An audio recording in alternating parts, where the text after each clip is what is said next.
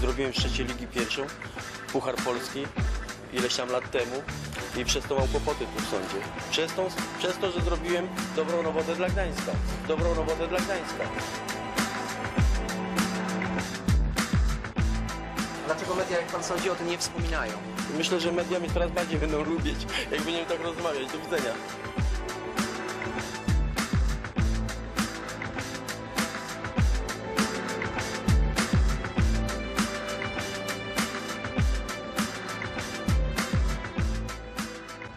Samego początku wiedziałem, że muszę poszukać odpowiedzi na bardzo wiele pytań. Najważniejsze to, na czym Układ Gdański polega i kiedy się zaczął. To było w momencie, kiedy y, była wtedy pierwsza w Polsce prowadzona kombinacja operacyjna. Nie operacja specjalna, tylko kombinacja operacyjna. To był rok 95. Byłem wtedy agentem policyjnym, który miał legendę dorabiającego policjanta. I tak naprawdę wtedy zacząłem rozumieć, że ten układ to są tak naprawdę te białe kołnierze. Czyli y, adwokaci, prawda, jacyś tam biznesmeni. To jest ten trzon tego układu. Tam były te duże pieniądze. Ja myślałem, że to jest taka, że to jest władza, ta służba, służby, policja. Oczywiście tak, ale dopiero jak poznałem niektórych sędziów i to środowisko, to tak naprawdę ta władza się kończy i zaczyna właśnie w sądach. I to jest właśnie ten ośrodek władzy, tak? No i co, no poznałem sędziego Milewskiego, tak? E, poznałem też sędziego Zielińskiego, e, no prokuratora Kornatowskiego, prokuratora Kaczmarka. Bywałem w domu na przykład u sędziego Milewskiego, tak? Po, polega to na tym, że o, my mamy układy, znajomości, nikt nic tam nie może zrobić, tak? To my możemy sobie mówić i robić co chcemy. Ja byłem świadkiem rozmów na przykład u w domu, jak, y, jak y, no, były tam te imprezy, jak oni na przykład między sobą rozmawiali. No takie, no siedziałem i tak słuchałem tego o y, układach w prokuraturze, że pewne nominacje były na rękę y, władzy centralnej albo władzy lokalnej.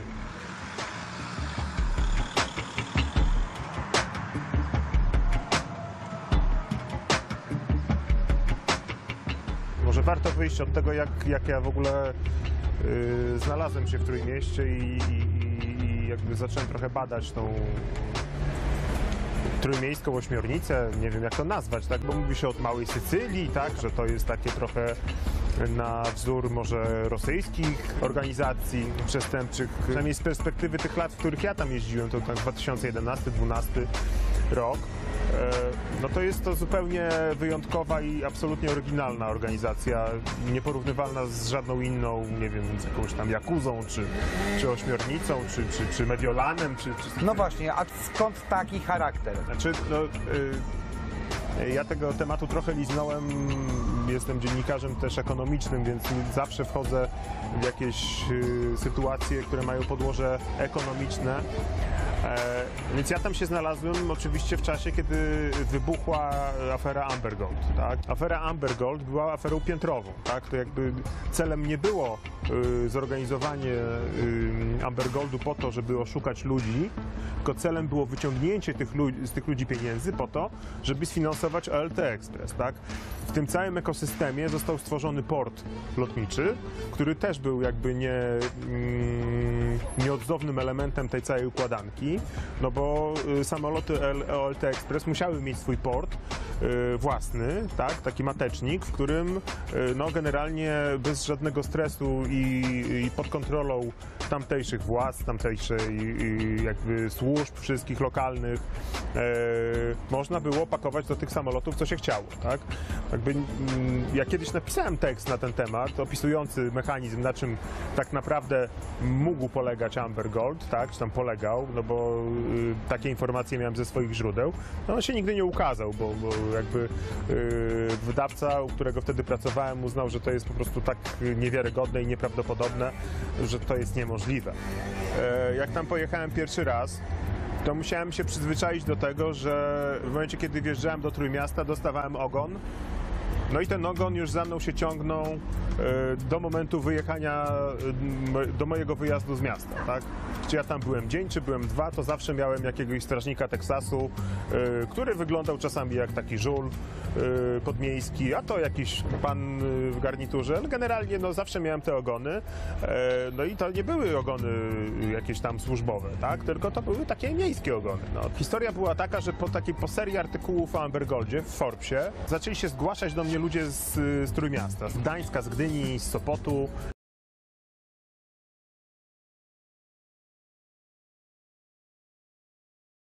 Którzy mi zaczęli opowiadać swoje historie. Takie zatrważające, tak? Co zresztą dałem tego wyraz trochę e, w jednym z tekstów, gdzie napisałem, że tak naprawdę Amber Gold to jest tam jedno z wielu tego typu przedsięwzięć, przedsięwzięć e, w mieście, że takich piramid finansowych było co najmniej kilka. E, I tak było, bo ja rozmawiałem z ludźmi, którzy potracili potężne pieniądze, podawali konkretne nazwiska. To się nigdy nie, jakby nie, nie zmaterializowało w postaci jakichś dochodzeń, śledztw i tak dalej, a nawet jeśli, no to to było umarzane, tak? E, Pamiętam taką historię, że trafiłem do e, kobiety, e, której panowie z miasta postanowili odebrać restaurację bo miała fajną i w dobrym miejscu i widać było, że się interes kręci. No więc przyszli do niej i powiedzieli, że oni tutaj teraz proszę pani to będzie nasza restauracja, ale to żeby nie było, że tak po chamsku, no to oni chcieli zapłacić normalnie. To nie są negocjacje, tylko po prostu przyszliście do mnie i powiedzieliście mi, żebym tu stąd spadała. A co jak się nie zgodzę? No i ten jeden z nich tak popatrzył na drugiego kolegę. Po restauracji biegały jej dzieci, tam dwójka. Powiedział, no wie pani, no, no pani popatrzy, kolega ma taką wyjątkową umiejętność, on potrafi żonglować głowa, głowami dzieci. Nie? Potrafi żonglować głowami dzieci. No i powiedziała, że to był argument, który trafił do niej, tak? Oddała tą restaurację. Krążył jakieś historie o, o mafii białych kołnierzyków i, i takich bardziej inteligentnych zagraniach. To właśnie, to właśnie coś takiego moim zdaniem jest w Trójmieście. Ci panowie bardzo często to są bardzo mili, kulturalni goście. Wiem, to może być adwokat, tak? To może być y, ktoś z urzędu miasta, to może być prokurator, no, to może być policjant. Kolejna historia, która gdzieś tam się zahaczała bezpośrednio o Trójmiasto. Słynna afera Gisze, tak zwana, czyli Katowice, tak, gdzie e, o mały włos nie doszło do przejęcia e, prawie ponad połowy Katowic, tak. To był taki słynny przekręt. Na tym generalnie zasadzała się w ogóle afera reprywatyzacyjna nie tylko w Warszawie, ale w całej Polsce. Ona się e, osadzała na reaktywacji przedwojennych spółek. I spółka przedwojenna Gisze, m, to był kapitał amerykański, została reaktywowana przez ludzi z Trójmiasta. To ludzie z Trójmiasta przyjechali do prezydenta Katowic i zażądali zwrócenia im, zwrócenia, oddania y, ponad połowy Katowic. To była To byli ludzie z Trójmiasta. ludzie od... E, to pan to powiedział, tak. Tak. Tak. To byli, to, to no jakby no też y, to nie jest tajemnicą, że jakby e, jakby otoczenie właśnie y, y, to byli, to, były, to byli ludzie jakby protoplasi w ogóle. Oni stworzyli system reaktywacji przedwojennych spółek i, i jakby oni zaczynali w Warszawie. Tak? Książkę, którą razem żeśmy e, pisali z Patrykiem Wegą pod tytułem Służby Specjalne Podwójna Przykrywka. Na podstawie tej książki miał, miała powstać czwarta część Pitbulla i ta czwarta część Pitbulla miała się nazywać Początek i Koniec. Miała być właśnie o Układzie Gdańskim, o Gdańsku, o Skotarczaku, o Nikosiu. Ja miałem z Wegą ustną umowę. I w tym świecie, oprócz umów tak zwanych na papierze, są też umowy ustne. Wega tej umowy nie dotrzymał. W trakcie pisania książki, po książce, y, pokazywał się ze mną w Trójmieście y, na plaży, żeśmy byli tam w kawiarni. No, ewidentnie no, tak, tak zwaną ekspozycję, ekspo, eksponowanie robił, tak? Oczywiście ja tak się domyślałem, że robi to po to, żeby się pokazać, prawda, y, ludziom w swoim towarzystwie. w swoim towarzystwie, tak. I mówię, powiedziałem, mówię, Patryk, mówię, y, rozumiem, że będziesz to rozgrywał y, dobrze pod kątem przyszłego filmu. I żebyś o tym pamiętał. Y, widziałem różnych ludzi, którzy się kręcili w hotelu w Sheratonie y, w tym czasie, kiedy Vega Wega był. E, Byli to ludzie mi znani, adwokaci, byli to ludzie, którzy znali Ryszarda Krauzego i mówię do Wegi tak, mówię posłuchaj, mówię, e, żebyś nie zrobił tylko takiej rzeczy, że po prostu dogadasz się z tymi ludźmi, osiągniesz jakąś korzyść, czy, czy, czy zniechęcą ciebie na przykład do, w jakiś tam sposób do robienia tego filmu. Bo e, taką ewentualność też e, zakładaliśmy, tak? Bo nawet żeś on ze mną o tym, o tym rozmawiał, nie? E, No i co się stało? A czy bał się, tak? Czy, na przykład, czy by się bał, tak? Czy by, w jakieś, czy by jakieś korzyści na przykład yy, odniósł, nie? I Stało się tak, że wkrótce potem, no jeszcze miał ze mną kontakt, ale później ten kontakt ze mną zerwał. Vega myślał, że wszedł na salony służb. A ja odpowiem, że Vega nawet nie stanął na wycieraczce przed salonem. W połowie lat 90. na salony gdańskiego samorządu wchodzili ludzie, którzy do dziś odgrywają istotną rolę w kształtowaniu rzeczywistości Gdańska. To właśnie wtedy doszło do pierwszej wielkiej transakcji miasta. Powołano do życia spółkę Saur Neptun. Ten pomysł był na ustach całej Polski, tak naprawdę, ponieważ jak się okazało, było to pierwsze w Polsce przedsiębiorstwo publiczno-prywatne zawiązywane akurat w Gdańsku i na Wybrzeżu. Słowem, prawda jest taka, że warunki nam e, też oczywiście postawili Francuzi, że oczywiście spróbujemy się dogadać, ale, ale 51% udziałów oni muszą objąć. Natomiast wymusiliśmy na nich, że jeśli chodzi o spełnianie tego warunku, to jest tak zwany złoty głos, ten jeden, który mógł o czymś przeważyć, że jest tak zwana decyzja Rady Miasta Gdańska na albo podniesienie, albo w ogóle na cenę wody. Mój rozmówca dopisał również do umowy warunek, który miał odciążyć finansowo i zabezpieczyć miasto. Chodziło o przeprowadzenie inwentaryzacji sieci, która miała kilka tysięcy kilometrów długości. To wielka i droga inwestycja, nawet jak na francuskiego partnera. Firma Store Neptun Gdańsk dla mnie z niezrozumiałych względów nie wykonała tego zadania. Nie wiem dlaczego, to trzeba gdzieś y, popytać. Wiem, że to zrobił potem GIFK, tą inwentaryzację, ponieważ już doszedł do wniosku, że Zamiast Saura, y, dla którego było to podstawą na przykład dla miasta wypowiedzenie umowy, y, można było przeprowadzić na podstawie braków wykonania tej inwentaryzacji. można było, można, No dobrze, no to w takim razie jak pan ocenia taką sytuację, gdzie miasto płaci pieniędzmi gdańszczan za to, co miała zrobić francuska firma? no, s- fatalnie. Ja oceniam tą sytuację jako wielkie nieporozumienie. Sprzedaż miejskiej spółki w Gdańsku nie była jedynym ciekawym przykładem prywatyzacji w mieście. Napisał pan pracę naukową, e, która została wydana przez jedną z e, szacownych uczelni w Gdańsku.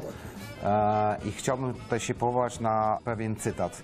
Wymiarem ekonomicznym tej prywatyzacji jest zestawienie kwot jednorazowej korzyści z wpływu gotówki do budżetu miasta z tytułu sprzedaży GPEC około 143 miliony złotych do wartości rocznego zysku spółki obecnie ponad 50 milionów złotych rocznie. Tak? Tak jest.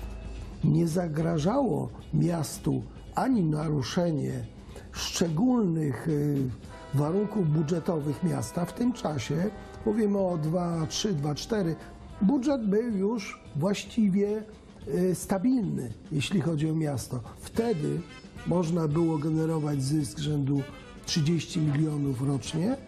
Dzisiaj to już jest inny, inne pieniądze, pobiera to właściciel niemiecki i sprzedaż według mnie była absurdalna i niepotrzebna. Wręcz spowodowała uzależnienie się miasta od ciągłej korekty ceny za ciepło w Gdańsku.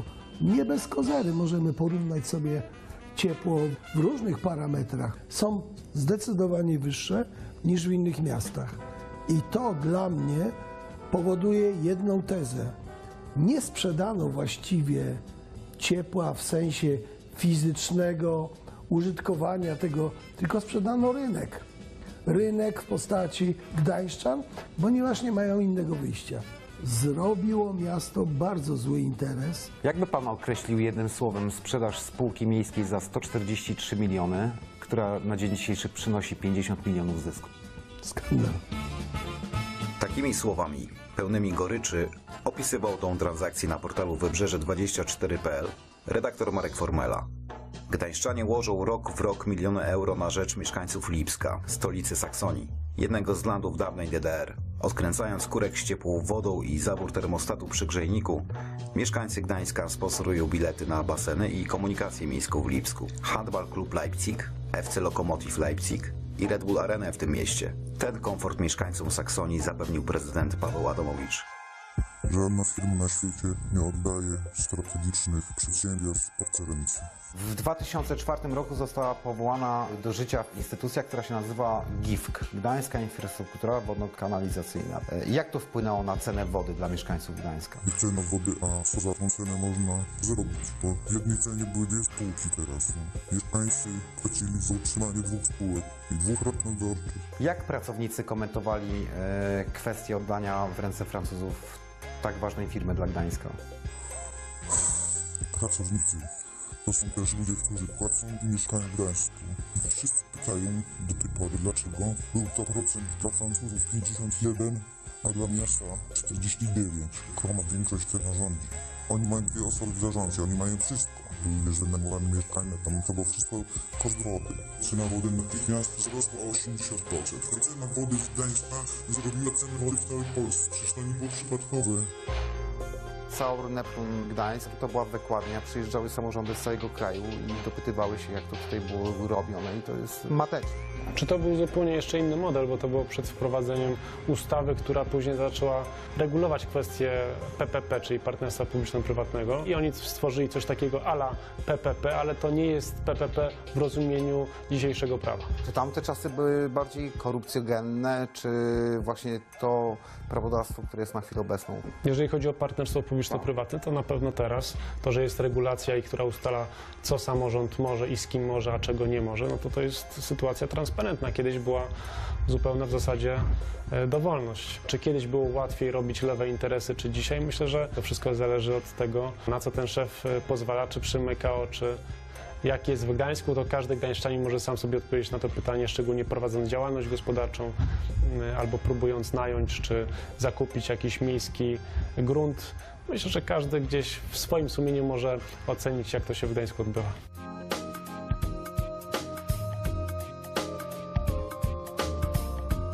Spółka GIFK powstała w 2004 roku. Polska weszła do Unii Europejskiej i pojawiła się okazja pozyskania na szeroką skalę e, dotacji unijnych. Spółka GIFK miała główne zadanie e, te dotacje pozyskać. E, I to się e, w mojej ocenie wydawało bardzo racjonalne ze strony Pawła Adamowicza, że taką decyzję o utworzeniu takich spółek podjął. E, Problemy są z transparentnością w takiej spółce miejskiej i problemy są też na etapie sprawdzania wydatkowania. Jak przepływają tam pieniądze? Jakie jest zadłużenie? Mogą tam oni poukrywać jakieś zadłużenia w budżecie miasta. Już w 2014 roku kontrola NIK wykazała olbrzymie transfery majątku samorządu terytorialnego do spółek miejskich bez należytej analizy ekonomicznej. Według raportu największe z nich nastąpiły w przypadku Gdańska. Była to kwota 939 milionów złotych. W samym 2019 roku miasto Gdańsk przekazało swoim spółkom m.in. 52 miliony złotych do Międzynarodowych Targów Gdańskich i 24 miliony złotych do spółki Arena Gdańsk. Przykład tej ostatniej oraz jej spółek córek i jej spółki wnuczki potwierdzają obawy moich rozmówców.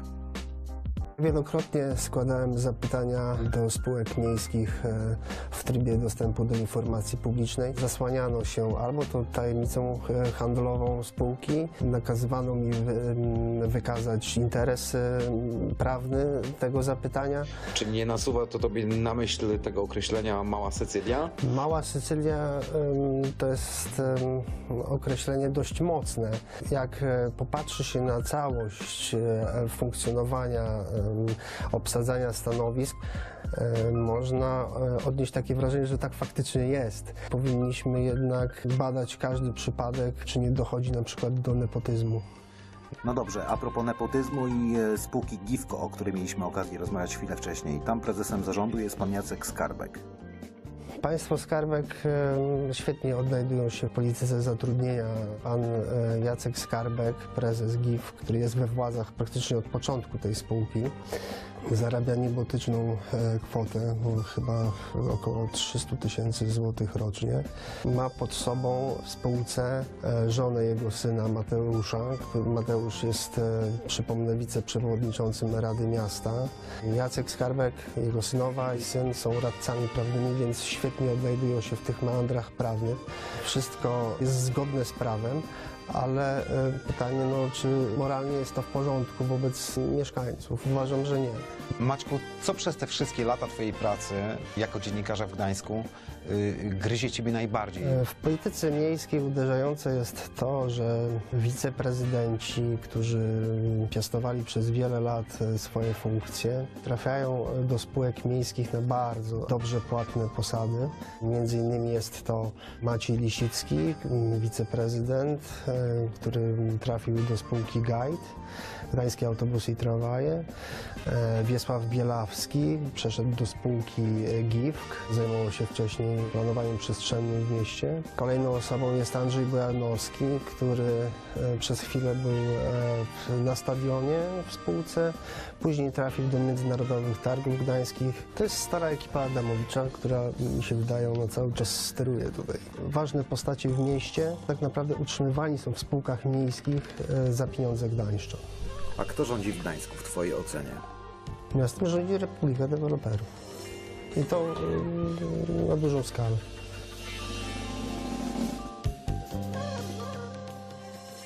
Świętej pamięci Paweł Adamowicz, a po jego tragicznej śmierci jego współpracownicy od ponad 20 lat przesądzają o kierunkach i zasadach, na jakich rozwija się miasto. Co najważniejsze, wydają pieniądze gdańszczan wpłacone do miejskiego portfela. postać i prezydentura e, Pawła Adamowicza to jest w ogóle wielka maskarada, tak? bo Gdańszczanie go uwielbiali. Oni naprawdę ze szczerego serca mu ufali i wybierali go na swojego prezydenta, no bo mieli takiego trochę safandułowatego, miłego człowieka, który jeździł do pracy na rowerze, był gdzieś między nimi, jak przechodził to zagadał do ludzi, jak zobaczył papierek e, na ulicy, to się schylał, podnosił i wrzucał go do kosza. No taki dorany przyłóż gospodarz miasta. Natomiast ci biedni gdańszczanie kompletnie nie mają pojęcia, jakie biznesy toczyły się w Urzędzie Miasta i na jego obrzeżach. Jaki dyktat deweloperski panuje w Gdańsku. Mm, Jak uzależnione od tego są i wydziały miejskie, i spółki miejskie. Adamowicz zbudował sobie y, silną pozycję przez lata prezydentury, wiążąc ze sobą osoby w spółkach y, zależnych od, od miasta. Tych spółek jest kilkadziesiąt. Y, Ich pracownicy i rodziny tych pracowników już pozwalają, pozwalały mu na to, aby nie oglądając się na jedną, drugą partię, czy też koalicję, która mogłaby go wesprzeć w wyborach, mógł spokojnie startować i był silny swoją siłą, silny siłą swoich gdańskich układów na swój sposób to zadziwiające, bo przecież wielokrotnie dziennikarze, w tym również ja, pisaliśmy o takich rzeczach, które powinny oburzać. Kiedy sprzedajemy y, GPC, Przedsiębiorstwo Energetyki Cieplnej Niemcom i potem Paweł Adamowicz oddelegowuje się do tej spółki jako przedstawiciel miasta, gdzie zarabia milion złotych. Normalnie powinno to oburzyć, tak? Ale też y, to, to pokazuje, że on był niepodzielnym władcą tego miasta, że w zasadzie mógł zrobić wszystko, a przekroczył już pewien taki próg y, zasiedzenia tego urzędu. Ciężko było sobie wyobrazić Gdańsk bez Pawła Adamowicza. Okazał się silniejszy nawet od partii, która początkowo go wystawiła i popierała. Okazało się, że w Gdańsku jest tylko Adamowicz i długo, długo nic. Zarzuty o nieprawdziwe oświadczenia majątkowe wobec nieżyjącego prezydenta upadły wraz z jego tragiczną śmiercią. Jego żona, ujawniając wspólny majątek przy obejmowaniu funkcji europosła, wykazała 11 mieszkań. Prokuratura stawia jej zarzuty co do zgodności wykazywanych źródeł dochodu z wydatkami. Zarzuty prokuratury usłyszała również matka Magdaleny Adamowicz. jak ktoś ma 11 mieszkań i je wynajmuje, ma pełne obłożenie, bo akurat o to też rodzina Adamowiczów zadbała, żeby różne firmy powiązane z miastem wynajmowały te lokale, to i tak jest bogatym człowiekiem. To może po prostu leżeć, pachnieć, nic nie robić i te pieniądze same lecą. Natomiast y, Magdalena Adamowicz zarabiała rocznie tylko za to, że miała te mieszkania. Ponad 300 tysięcy, to jeszcze próbowała coś z budżetu państwa uszczknąć na podatkach. Pani Janina Bramska to jest bardzo obrotna pani biznesmen zajmująca się ubezpieczeniami, broker ubezpieczeniowy, prowadzi agencję pośrednictwa ubezpieczeniowego, ale takich agencji jest dużo, ale nie wszystkie radzą sobie tak świetnie jak właśnie ta agencja Olimpia. Dlaczego? To też dowiadujemy się z ostatniego aktu oskarżenia wniesionego przeciwko pani mm, Janinie Abramskiej i tam są y, jakby ustalenia prokuratorów i CBA, że oczywiście twarzą całego procederu był Paweł Adamowicz, ale głową i szyją to były już pani Magdalena Adamowicz i pani Janina Abramska. To ona przy swoim zięciu brylowała na imprezach miejskich, to tam przedstawiani jej byli biznesmeni powiązani z miastem, e, z takim jasnym wskazaniem, że trzeba się u pani ubezpieczyć. To nie jest tak, że dobra zmiana zaczęła ścigać Pawła Adamowicza, bo politycznie był niewygodny, bo był z miasta Platformy Obywatelskiej. To CBA za czasów e, Pawła Wojtunika rozpoczęła tę sprawę. To Pawłowi Wojtunikowi e, Paweł Adamowicz tłumaczył się z tego, skąd się wzięły te pieniądze. To było kilka lat z rzędu, kiedy Paweł Adamowicz, delikatnie mówiąc, rozjeżdżał się z rzeczywistością w swoich oświadczeniach majątkowych. Ponad pół miliona pieniędzy nie wiadomo skąd się wzięły. I co ciekawe, wysyłał do niego korespondencję dwukrotnie i dwukrotnie opisywał co innego. Raz to była taka bardzo kwiecista przemowa, że przecież on jest uszanowanym obywatelem, nigdy w życiu by niczego nie ukrył, wszystkie pieniądze ma na kontach, do których Izba Skarbowa może mieć wgląd. W kolejnych natomiast tłumaczeniach dokładnie odwrotna sytuacja. Jakby go ogarnęła jakaś amnezja, jakby nie pamiętał, co, co pisał poprzednim razem i pisał znowu, że u nich w domu gotówka im się mieszała, że jego żona pochodzi z zamożnej rodziny, natomiast y, bardzo często i obficie obdarowywane były też ich dzieci. Tak pamiętam z tych tłumaczeń było, że nie wiadomo, która to była ta gotówka małżeńska, która to była ta gotówka dzieci, gdzieś były jakieś skrytki w domu, więc kolejne dwie różne wersje, obydwie złożone na piśmie do szefa CBA. Co więcej, nawet była taka sytuacja, że jak e, mm, firma deweloperska Pomeranka zaproponowała im tą szokującą zniżkę na mieszkania w osiedlu Neptune Park, e, to cała ta rozmowa i tak skończyła się tym, że pani Janina Bramska jeszcze kogoś z tego otoczenia ubezpieczyła. Kupiono trójpak, czyli trzy mieszkania. E, Rodzina Adamowiczów kupiła te mieszkania po zniżce.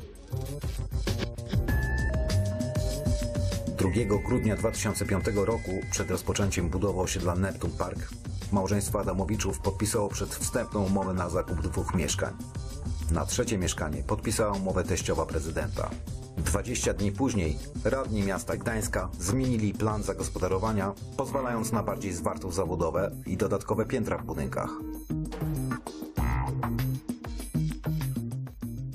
Według CBA państwo Adamowicz zapłacili łącznie 273 tysiące złotych mniej, a teściowa 173 tysiące mniej niż późniejsi klienci.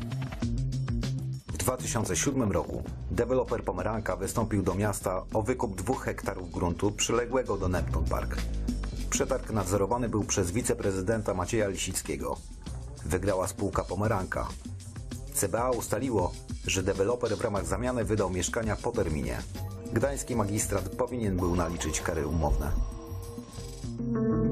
Dziwne, że miasto jakby zrezygnuje e, z 11 milionów, które się tak naprawdę należały za niewywiązanie się tego dewelopera z umowy. Nie zrobił tego w terminie i powinna zostać naliczona kara dla niego. No i miasto tego nie, nie wzięło. No, to No, rzeczy bardzo dziwne się dzieją, chociażby jak z tą kamienicą przy ulicy Grunwaldzkiej 597, gdzie władze miasta Gdańska wypierały się, że są właścicielem kamienicy i dopiero sąd karny musiał powiedzieć, że oni są właścicielem tej kamienicy i że mogło dojść tam do, można powiedzieć, dzikiej reprywatyzacji. Próbowano wyrzucić ludzi, którzy żyli tam też od 50 lat na bruk. Stosowano takie chwyty jak podrzucanie pod okna śmieci z kompostem, które po prostu latem niesamowicie śmierdziały. Wysyłano jakieś czarne koperty z ultimatum, że mają się stamtąd wynosić ci ludzie. Jedna pani w tym czasie tego szantażu, tego zastraszenia po prostu zmarła na serce. No i syn też nie ma wątpliwości dlaczego. No po prostu już byli skrajnie wyczerpani tą sytuacją, a władze miasta Gdańska mówią, że to nie jest ich kamienica, kiedy z dokumentów z aktu notarialnego jasno wynika, że to jest ich kamienica. No i za to chociaż jedna głowa poleciała, to znaczy byłej wicedyrektor Skarbu e, Miasta Gdańska, no dostała grzywny bodajże 20 tysięcy złotych. Mam wątpliwości, czy to było niedopełnienie obowiązków, czy to było na jakiejś innej zasadzie. Władze miasta Gdańska pobierały od tych ludzi czynsze za lokale komunalne. Z dnia na dzień o tym zapominają, mówią, nie, nie, to nie jest nasza kamienica. Mamy również zamieszaną w to spółdzielnię, która sprzedaje jakiemuś inwestorowi ten budynek łącznie z mieszkańcami. Robi to bezprawnie, ponieważ teren należy do miasta Gdańska, a teren nie jest w ewidencji, czy zagubiły się dokumenty. Miasto dopuściło do sprzedaży przez spółdzielnię budowlani zasiedlonego budynku z gruntem, będącego własnością gminy za 400 tysięcy złotych. W 2016 roku za 2,5 miliona nowym właścicielem stała się działająca wtedy od niecałych trzech miesięcy warszawska spółka Dreamplace. Pełnomocnikiem spółki jest znany gdański mecenas, obrońca Marcina P., twórcy Ambergold. Mieszkańcy Gdańska w starciu z machiną urzędniczo-biznesową stają się zbędnym balastem. Kiedy starsza pani udziela pełnomocnictwa na przykład swojej córce albo swojej synowej i kiedy ja słyszę od wiceprezydenta Grzelaka, bezpośrednio od niego, że z tego robi się powód, dla którego uniemożliwia się sprzedaży z bonifikatą tej kamienicy, w której mieszka całe życie i również jej rodzice tam mieszkali, no to dla mnie to jest skandal.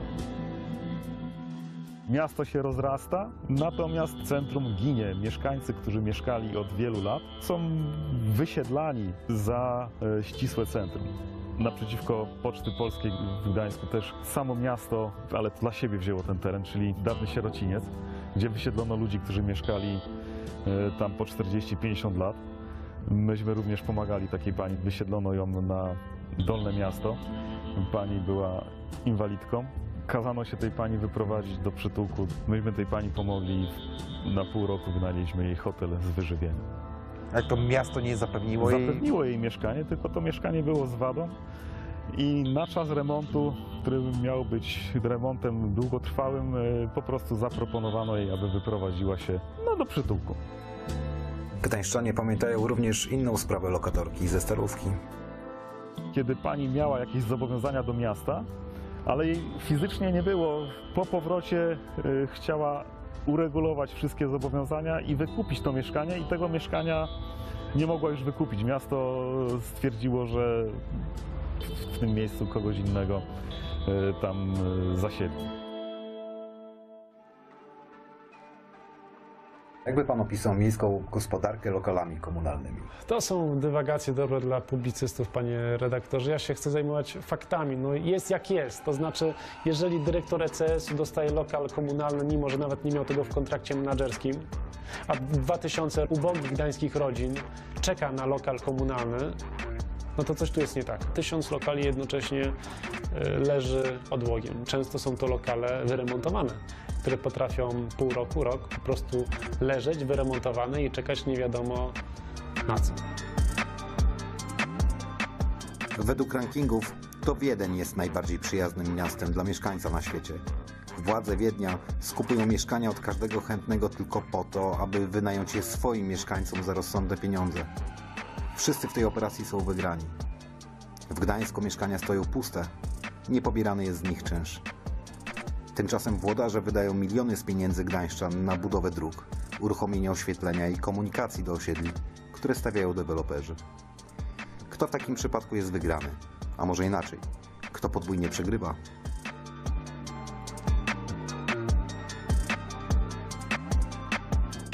Maćku, mamy spółki komunalne, które zajmują się budownictwem komunalnym. Oprócz tego miasto się wymienia na tereny z deweloperami. Czy jesteś w stanie coś opowiedzieć o historii tych zamian w Gdańsku? W ostatnim czasie zajmowałem się e, kwestią zamian działki e, przy ulicy Łąkowej. To jest, dzisiaj powstaje tam e, budynek spółki LPP. Wiele lat temu teren, te, na tym terenie rezydował imigrant e, z Indii, Sanil Ahuja. Miał on prawo do pierwokupu tej działki, lecz e, nie zaproponowano mu nigdy tego. Miasto postanowiło zamienić e, LPP, dostarczyło e, nieruchomości e, miastu, a miasto przekazało im działkę przy ulicy Łąkowej. Z dnia na dzień Sani Ahudża no, musiał po prostu odejść z- z tego miejsca. Zabrano mu cały towar, gdzieś mu go ukryto. To jest taki spiritus movens tego, co się dzieje w ogóle generalnie w Gdańsku. Ile lat pan mieszka w Polsce? 30 lat mieszkam. Od zawsze w Gdańsku? 4-5 lat mieszkaliśmy w Warszawie, ale potem do Gdańska przyjechaliśmy, mieszkaliśmy tu, bo to spokojniejsze miasto w porównaniu z Warszawie i takie spokojne, porządne miasto wyglądało. I właśnie udomowiliśmy tutaj w takim razie. Myśmy wprowadzali z Indii mnóstwo rzeczy, i dywany, i herbaty, i meble, granity. Ta działalność się skończyła od momentu, kiedy ten lokal, który wynajmowałem od e, miasta 12 lat i chcieliśmy go wykupić, ileś tam razy zwróciliśmy do miasta o wykup. Początkowo mówiono było, że to, to, to, to, to miejsce jest dla zaburzan, będzie trzeba kiedyś oddać czy coś, ale myśmy cały czas mieli nadzieję, a LPP wyburzył ten budynek i zabrał nasze rzeczy i nasza działalność importowa się wówczas skończyła. I teraz prowadzę tylko gastronomię. Długo siedzimy w tych sprawach i dużo nowe rzeczy y, jakby się okazują. I wiemy, że to my nie jesteśmy y, jedyni taki, bo to, było ten, to jest ten proceder zamiany, y, który jest w Gdańsku, to jest ich modus operandi i oni wszystkie lokale, czy, czy wszystkie dobre i fajne tereny, które są, nie są sprzedawane y, przy targu. To nie jest opłacalne, bo gdyby były normalne przetargi, y, to można było wiele więcej pieniędzy uzyskać, ale tutaj jest tak,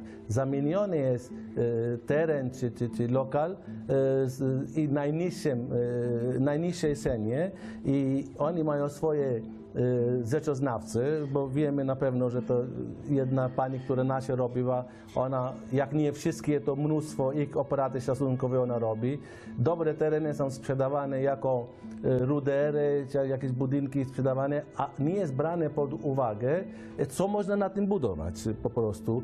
Czy pan się pogodził już ze stratą tego miejsca? Znaczy, wie pan co, bardzo trudno można pogodzić z tym samym fa- faktem, y, że miasto, które wybrałem dla życia, dla siebie, dla swoje dzieci i, i, i jestem po prostu oszukany y, i nic nie można zrobić, coś takiego, coś, coś takim się pogodzić się de facto nie da. I skoro się nie pogodziłem, to poszedłem do sądu, y, bo prokuratura wówczas nie działała, nic, się nie, nic nie dało, żadny skutek. Y, I teraz jest... Czyli pan składał wnioski do prokuratury w tej sprawie? Ileś tam razy składałem, a teraz na szczęście prokuratura wysłała mi pismo, że jest wszędzie śledztwa tej sprawie. Bo nie tylko tutaj nie chodzi o straty materialne, które poniosłem, ale tutaj jeszcze chodzi o to, że y, ten, to są oni cały czas y, mówią o równych uprawnień, Gdańsk dla wszystkich i jeszcze chcą imigrantów tu przyjąć. Pokazują, że są bardzo otwarci i taki, a tak naprawdę y, to, to jest jedna wielka lipa, no to jest, to, to jest mafia po prostu.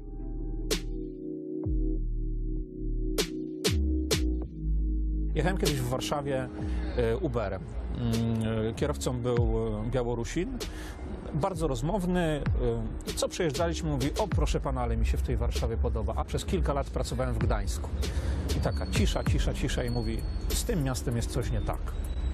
Faktycznie uznaje rację ludzie, którzy nazywają Gdańsk małą Sycylią, no. A małej Sycylii mogą, mogą różne rzeczy dziać, no. Nawet dzisiaj, jak sobie rozmawiamy, tak, i zaczęlibyśmy używać na twardo konkretnych nazwisk, tak, y, konkretnych y, zarzutów, y, nawet dowodów namacalnych, że ten ukradł to, tamten ukradł to, tamten zaczynał tak, a, a inny zaczynał inaczej, no to zapewne skończyłoby się tak, że zostalibyśmy pozwani przez, tych, przez te osoby, które wymieniamy, Sprawa by trafiła do sądu w Gdańsku i tam byśmy przegrali tą sprawę z Kretesem. Ja bym został skazany, pan by został skazany. No bo tak to wszystko właśnie działa i, i, i- działa, działało tak od, od kilkudziesięciu lat. No. Przez to, że zrobiłem dobrą robotę dla Gdańska. Dlaczego media, jak pan sądzi, o tym nie wspominają?